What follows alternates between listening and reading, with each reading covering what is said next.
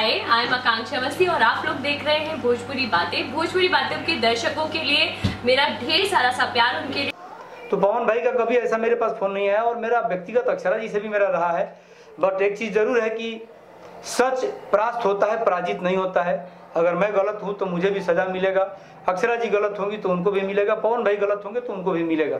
इससे ज़्यादा और हम क्या बोल सकते हैं? क्योंकि उन दोनों का व्यक्तिगत मामला है और व्यक्तिगत मामला में शायद किसी को नहीं बोलना चाहिए। वो दोनों आपस के वो लोग दोनों समझदार हैं और दोनों अपने गणित हैं अपने अपने जगह पे गणमान्य भी है।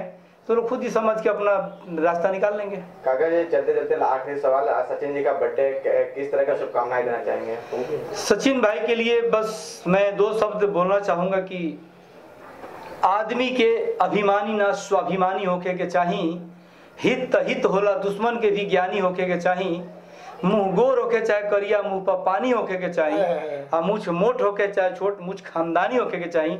ऐसा ही हमारे मित्र बड़े सचिन भाई जब से जुड़ल बानी जा मुंबई नगरी में जब से एक दूसरा के जाना तनी जा।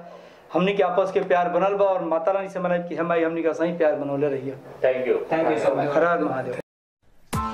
Press the bell icon on the YouTube app and never miss another update.